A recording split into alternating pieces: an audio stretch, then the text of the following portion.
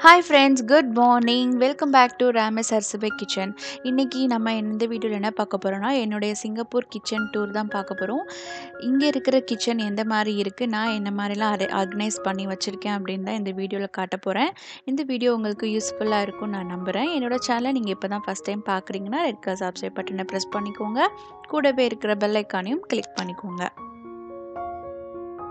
நம்ம கிச்சனுக்குள்ளே போகலாம். என்னோட கிச்சன் பார்த்தீங்கன்னா ஒரு எல் ஷேப்டு கிச்சன் தான் இந்த கிச்சன் வந்து கிச்சனோட சேர்ந்தே வந்து கு- துணி காய போடுறதுக்கான பிளேஸ் வந்து அட்டாச்மெண்ட் ஆகிருக்கும் இதுதான் வந்து என்னோட அப்பார்ட்மெண்ட்டோட வெளி வெளிப்பக்கம். இப்படி தான் வந்து துணி காய போடுறதுக்கு எல்லா அப்பார்ட்மெண்ட்லேயும் இப்படி தான் டிசைன் பண்ணி வச்சுருப்பாங்க. ஸோ இந்த மாதிரி தான் நம்ம துணி காய போடணும் ஒரு சில அப்பார்ட்மெண்ட்ஸில் பார்த்தீங்கன்னா குச்சி மாதிரி இருக்கும். குச்சியில் வந்து துணி காய போடுற மாதிரி இருக்கும். அது அப்பார்ட்மெண்ட்டோட இப்போ இது அப்பார்ட்மெண்ட் பொறுத்து இருக்கும். அப்பார்ட்மெண்ட் ரொம்ப புதுசுன்னா இந்த மாதிரி இருக்கும். கொஞ்சம் பழைய அப்பார்ட்மெண்ட்ஸ்லாம் அந்த மாதிரி கொடுத்துருப்பாங்க. குச்சி வச்சு துணி காய போடுற மாதிரி இருக்கும். அதுக்கப்புறம் அந்த ரூம்க்கு பக்கத்தில் வந்து சிங்க் இருக்கும். சிங்கோட வந்து பாத்திரம் கழுவி வைக்கிறதுக்கும் அட்டாச்மெண்ட் கொடுத்துருப்பாங்க. நான் வந்து ரெண்டு லிக்விட் ஒரு லிக்விட் வந்து பேபி ஃபீடிங் பாட்டில் க்ளீன் பண்ணுற லிக்விடு இன்னொன்று வந்து நார்மல் டிஷ்வாஷிங் லிக்விடு இது வந்து நான் அந்த ப்ரெஷ்ஷெல்லாம் தொ கழுவுற ப்ரெஷ்ஷெல்லாம் ஒரு டப்பாவில் வந்து நான் ஸ்டோர் பண்ணி வச்சுப்பேன். ஸோ இந்த மாதிரி சிங்க் இருக்கிறதுனால பாத்திரம் கழுவி ஈஸியாக போடுறதுக்கு ரொம்ப ஹெல்ப்ஃபுல்லாக இருக்கும். தண்ணியும் வந்து கீழே போகாமல் இருக்கும். அதுக்கப்புறம் ஒரு ஸ்டாண்ட் வச்சுருக்கேன். இந்த ஸ்டாண்டில் வந்து பாத்திரம் கழுவுன பாத்திரத்தை அதில் எடுத்து அடுக்கி வச்சுருவேன். அது நல்லா வெயிலில் வந்து காஞ்ச பிறகு திரும்ப நான் வந்து கபோர்டில் அடுக்கி வச்சுப்பேன். இது பக்கத்தில் ரெண்டு கட்டிங் போர்டு வச்சுருக்கேன். ஒரு கட்டிங் போர்டு வந்து வெஜிடேரியன் வெஜ்ஜுக்கு இன்னொன்று வந்து நான்வெஜ்ஜு அப்புறம் ஒரு சின்ன இடிக்கல் இருக்கும். இஞ்சி பூண்டு கட் பண்ணுறதுக்கு இந்த ட்ரேயில் வந்து ஸ்பூன்ஸ் எல்லாம் ஒரு கப்பில் அப்புறம் வந்து எண்ணெய் ஊற்றி வச்சுருப்பேன். அப்புறம் ஏற்கனவே ஃப்ரையிங் ஏற்கனவே ஒரு அப்பளம் பொரிச்ச எண்ணெயை ஒரு இதில் வந்து ஸ்டோர் பண்ணியிருப்பேன் ஸோ இந்த மாதிரி ஆயில் ட்ரே வச்சுருப்பேன். ஸோ இது வந்து எனக்கு த்ரீ பர்னர் கொடுத்துருப்பாங்க. இது வந்து அட்டாச் ஆகிருக்கும் கீழே. அந்த கவுண்டர் டாப் கூடயே வந்து அட்டாச் பண்ணி தான் கொடுத்துருப்பாங்க. அப்புறம் வந்து ஒரு கெட்டில் இருக்குது அது பக்கத்தில் ஓவன் இருக்குது ஓவன் வந்து இப்போ வந்து யூஸ் பண்ணுறதில்ல அதனால் அப்படியே வந்து ஸ்டோரேஜ்க்காக மேலே வந்து அடுக்கி வச்சுருக்கேன். ஸோ இதில் வந்து தண்ணி காய வச்ச தண்ணி வந்து எடுத்து வச்சுப்பேன். அது மாவு அரைச்சி வைக்கிறதுக்கு அந்த சம்படம் வந்து யூஸ் பண்ணிப்பேன். ஸோ இது மைக்ரோ ஓவன் மேலே பெருசாலாம் எவ்வளோ பொருட்கள்லாம் இருக்காது. ஜஸ்ட்டு வந்து இந்த நட் நியூட்டலாக இருக்கும். அப்புறம் வந்து ரப்பர் பேண்ட் இருக்கும். அந்த ஸ்டிக் இருக்கும். ஏதாவது கவரை ஓப்பன் பண்ணிவிட்டு அதை க்ளோஸ் பண்ணுறதுக்கான ஸ்டிக்கு இப்போ செர்லாக் பாட்டில் ஹனி பாட்டில் இதுதான் இருக்கும். ஸோ என்னோடய வீட்டில் வந்து ரொம்பலாம் பொருட்கள் வந்து இருக்காது. எனக்கு கவுண்டர் டாப்பில் வந்து நிறைய பொருட்கள் அடுக்கி வைக்கலாம் பிடிக்காது. ஸோ எனக்கு கவுண்டர் டாப் வந்து கொஞ்சம் ஃப்ரீயாக இருக்கிறது தான் பிடிக்கும். இப்போ மேலே இருக்கிற அந்த ஃபஸ்ட்டு கபோர்டில் வந்து ஆயிலெலாம் ஸ்டோர் பண்ணிப்பேன். அப்புறம் எல்லா வகையான பவுடர்ஸும் இருக்கும். Chilli powder coriander powder cumin powder எல்லா பவுடர்ஸும் அங்கே இருக்கும். அப்போ தான் நம்ம ஈஸியாக எடுத்து குக் பண்ண முடியும். குக் பண்ணுறதுக்கு ஈஸியாக யூஸ் பண்ணிக்கலாம். ஸோ நெய் பாட்டில் எல்லாமே அங்கே தான் வச்சுருப்பேன். அடுத்து வந்து சிம்னி இருக்குது சிம்னிக்கு மேலே ஒரு கபோர்ட் இருக்கும். அந்த கபோர்ட் வந்து அவ்வளோவா யூஸ் பண்ணுறதில்ல ஜஸ்ட்டு எப்பயாவது ரேராக யூஸ் பண்ணுற திங்ஸ் எல்லாம் மேலே வச்சுப்பேன். இந்த அலுமினியம் ஃபாயில் அப்புறம் வந்து கவர் ஜிப்லாக் கவர் அதெல்லாம் அங்கே தான் இருக்கும். இந்த கபோர்டில் வந்து அந்த லாஸ்டில் இருக்கிறதெல்லாம் ஓப்பன் பண்ணாத Cerelac cereals biscuit baby biscuit கிட்ஸோட snacks அதெல்லாம் வந்து ஓப்பன் பண்ணாததெல்லாம் அங்கே இருக்கும்.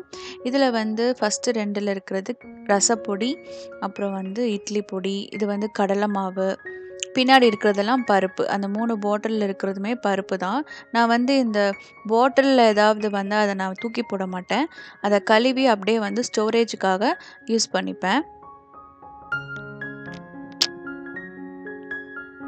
ஸோ நீங்கள் ஸ்டோரேஜ்க்காக யூஸ் பண்ணுவோம்னா அந்த ஸ்டிக்கர் வேணால் நீங்கள் எடுத்துட்டிங்கன்னா ரொம்பவே சூப்பராக இருக்கும் பாட்டில் யூஸ் பண்ணுறதுக்கு ஸோ அந்த ரவுண்ட் பாக்ஸில் வந்து பாஸ்தா அது வந்து பாஸ்தா ஸ்டோர் பண்ணி வச்சுருக்கேன். ஸோ இவ்வளோ தான் இந்த கபோர்டில் இருக்குது அப்புறம் வந்து நம்ம கவுண்டர் டாப்க்கு கீழே இருக்கிற கபோர்டில் பார்க்கலாம் இந்த ட்ராவிலேருந்து என்ன இருக்குன்னா ஸ்பூன்ஸ் கரண்டி எல்லாமே இதில் தான் ஸ்டோர் பண்ணிப்பேன். அது தனியாக ஒரு ட்ரே பண்ணி ட்ரே வாங்கி வச்சுருக்கேன். அதில் வந்து நைஃபு சின்ன சின்ன பொருட்கள் அந்த விசில் போடுறதுக்கெல்லாம் தனியாக செப்பரேட் பண்ணி வச்சுப்பேன். ஸோ நீங்கள் விசில் எடுக்கிறதுக்கு ரொம்ப ஈஸியாக இருக்கும். ஒரே இடத்துலவே விசில் வந்து வைக்க ஆரம்பிச்சிட்டிங்கன்னா திரும்ப எடுக்கிறதுக்கு ஈஸியாக இருக்கும். தேட வேண்டாம்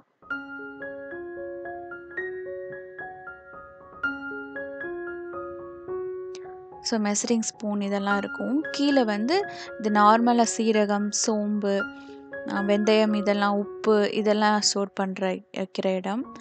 ஸோ இதில் வந்து எல்லாம் அந்த சீனி கல்லுப்பு இதெல்லாம் வந்து இங்கே தான் இருக்கும்.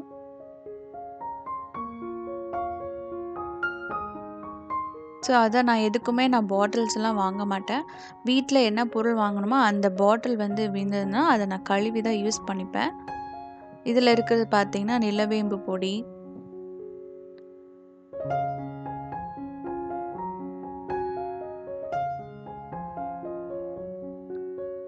கல்பாசி இதெல்லாம் வந்து நான் இப்படி தான் ஸ்டோர் பண்ணி வச்சுப்பேன்.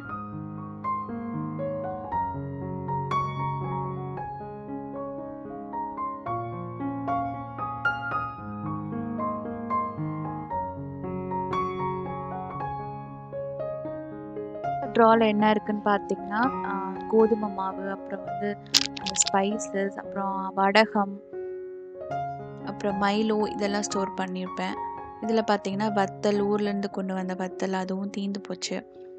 இதில் இருக்க சீரியல்ஸ் அந்த ஓப்பன் பண்ண சீரியல்ஸ் வந்து நான் ஸ்டோர் பண்ணியிருப்பேன் இது வெல்லம் அப்புறம் கீழே வந்து புளி இது வந்து வத்தல் அது வந்து அப்பளம் அது ஃபுல்லாக இருக்கிறதெல்லாம் அப்பளம். ஸோ இந்த க இந்த கபோர்டில் என்ன இருக்குன்னா பேபியோட பவுடர் மில்க் பவுடர் நான் வந்து சிமிலாக் அப்படின்ற ஒரு பிராண்ட் யூஸ் பண்ணுறேன் இது நல்ல பிராண்ட் இது வந்து இந்த இந்த பிராண்டில் எந்த ஒரு வயிறு பிரச்சனையும் வரல. ஸோ நீங்கள் யூஸ் பண்ணோம் ஆரம்பிக்கணும்னா இந்த பிராண்ட் கூட நீங்கள் யூஸ் பண்ணிக்கலாம். அப்புறம் வந்து என்னோடய காஃபி பவுடர் வந்து இண்டோ காஃபி இது சூப்பராக இருக்கும் இந்த காஃபி பவுடர் அதுக்கு கீழே வந்து இட்லி ரைஸு அப்புறம் ரெண்டு தோசை தவாவும் ஒரு பேனும் இருக்குது இது கீழே பார்த்தீங்கன்னா நம்ம சிலிண்டர்லாம் இல்லை. ஒரு சில வீடுகளில் சிலிண்டர் கொடுக்குற மாதிரி இருக்கும். ஒரு சில வீட்டில் வந்து கேஸ் கனெக்ஷன் கொடுத்துருப்பாங்க. ஸோ அது வந்து என் அந்த அப்பார்ட்மெண்ட் ஃபுல்லாகவே அந்த கேஸ் கனெக்ஷன் வந்து போயிட்டுருக்கும். ஸோ இதில் வந்து ஒரு இட்லி பாத்திரம் ரெண்டு குக்கர் அப்புறம் வந்து பேன் அவ்வளோதான். ரொம்ப கம்மியான பாத்திரம் தான் இருக்குது. ஏன்னா நம்ம இருக்கிறது வேறு ஒரு கண்ட்ரி ஸோ நிறைய பாத்திரம்லாம் நான் வாங்க மாட்டேன். ஸோ மே மேபி ஃப்யூச்சரில் வந்து தேவையான பொருட்களை வாங்கிக்கலாம். இங்கே வந்து இருக்கிறது பேண்ட்ரி இதுதான் வந்து என்னோடய மளிகை பொருட்கள்லாம் ஸ்டோர் பண்ணி வைக்கிற இடம். கொஞ்சம் கச்சமச்சான் இருக்குது இதை நான் ஃப்யூச்சர் வீடியோவில் நான் ஆர்கனை எப்படி ஆர்கனைஸ் பண்ணுறதை நான் காட்டுறேன். இங்கே வந்து அந்த எம்டி டப்பாஸ் எல்லாம் இங்கே ஸ்டோர் பண்ணி வச்சுப்பேன். எம்டி டப்பா கிண்ணம் பிளாஸ்டிக் கிண்ணம் இதெல்லாம் வந்து இங்கே தான் இருக்கும். Flask water bottle lunch box snacks box எல்லாம் இங்கே தான் நான் ஸ்டோர் பண்ணிப்பேன். இதுக்கு கீழே வந்து சாப்பாட்டு அரிசி அப்புறம் வந்து எண்ணெய் பாஸ்மதி அரிசி பச்சரிசி எல்லாமே இந்த கபோர்டில் தான் இருக்கும்.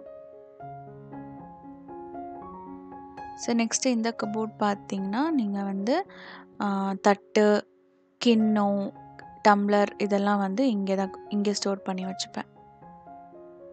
ஸோ நான் அந்த ஸ்டாண்ட் வச்சுருக்கனால எல்லாம் பாத்திரம் கழுவிட்டு அந்த ஸ்டாண்டில் வச்சுருக்கிறதுனால எல்லாம் வந்து வெயிலில் காஞ்சு போயிடும். காஞ்ச பிறகு உள்ளே எடுத்து வைக்கிறனால எந்த ஒரு பிரச்சனையும் இருக்காது. ஸோ கபோர்டுக்கும் எந்த ஒரு பிரச்சனையும் வராது. ஸோ நான் கபோர்டில் ஸ்டோர் பண்ணும்போது அப்படியே ஸ்டோர் பண்ண மாட்டேன். கீழே வந்து பேப்பர் இல்லைன்னா நியூஸ் பேப்பர் இதெல்லாம் போட்டுப்பேன். போட்டுட்டு தான் ஸ்டோர் பண்ணுவேன். இதுக்கு கீழே பார்த்தீங்கன்னா மிக்சி ஜார் லஞ்ச் பாக்ஸஸ் அப்புறம் வந்து ஹாட் பாக்ஸு அதெல்லாம் இருக்கும். பெரிய பெரிய கிண்ணம்லாம் இருக்கும்.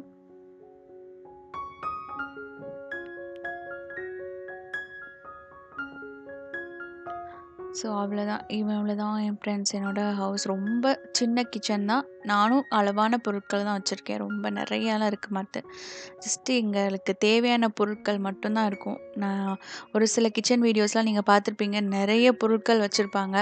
ஆனால் அவங்கெல்லாம் அதை யூஸ் பண்ணுறாங்களா எனக்கு தெரில ஆனால் இந்த எல்லா பொருளையும் நான் கண்டிப்பாக நான் யூஸ் பண்ணிடுவேன். ஸோ தேவையான பொருட்கள் மட்டும்தான் இருக்கும். ரொம்ப எக்ஸஸான பொருட்கள்லாம் நான் வச்சுருக்க மாட்டேன்.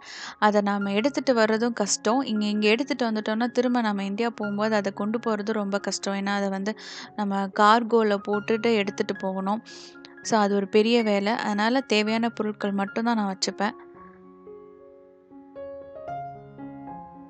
ஸோ இவ்வளோதாங்க என்னோட கிச்சன் ஃப்ரெண்ட்ஸ் இந்த கிச்சன் வீடியோ உங்களுக்கு ரொம்ப பிடிச்சிருக்கும் நான் நம்புகிறேன் இங்கே சிங்கப்பூரில் இருக்கிற பெரும்பாலான கிச்சன்ஸ் இப்படி தான் இருக்கும். ரொம்ப பழைய வீட்டோட கிச்சன்ஸ் பார்த்திங்கன்னா பழைய அப்பார்ட்மெண்ட்டோட கிச்சன்ஸ் பார்த்திங்கன்னா ரொம்ப வந்து பெருசாக இருக்கும். நிறையா கபோர்ட்ஸ் ஸ்டோரேஜ் ஸ்பேஸ் நிறையா இருக்கும். ஆனால் நியூவாக க்ரியேட் நியூவாக வந்து பில் பண்ண அப்பார்ட்மெண்ட்ஸில் வந்து கபோர்ட்ஸ் எல்லாம் கொஞ்சம் கம்மியாக தான் வச்சுருப்பாங்க. கிச்சனோட ஸ்பேஸும் வந்து கொஞ்சம் கம்மியாக தான் இருக்கும். ஸோ அந்த அப்பா அப்பார்ட்மெண்ட்டோட இதை பொறுத்து அந்த பொறுத்து தான் அந்த எல்லாமே மாறுபடும். இப்போ நான் வந்து கடைசியாக என்ன சொல்லிக்கிறேன்னா நீங்கள் வந்து யூஸ் பண்ணுற ஏதாவது பாட்டில் காஃபி பொடி பாட்டில் ஏதாவது இருந்ததுன்னா நல்ல பாட்டில் குவாலிட்டியான பாட்டில் இருந்ததுன்னா அதை நீங்கள் கழுவியே நீங்கள் அதை ஸ்டோரேஜ்க்காக யூஸ் பண்ணிக்கலாம். அதுவும் பார்க்குறதுக்கு அழகாக சேமாகவே இருக்கும். இந்த வீடியோ உங்களுக்கு ரொம்பவே பிடிச்சிருந்துச்சுன்னா ரொம்பவே ந நல்லா இருந்ததுன்னு ஃபீல் பண்ணிங்கன்னா என்னோடய சேனலை மறக்காமல் சப்ஸ்கிரைப் பண்ணிக்கோங்க. லைக் பண்ணுங்கள் கமெண்ட் பண்ணுங்கள் ஷேர் பண்ணுங்கள் தேங்க்யூ ஃபார் வாட்சிங் ஃப்ரெண்ட்ஸ் பாய் பாய்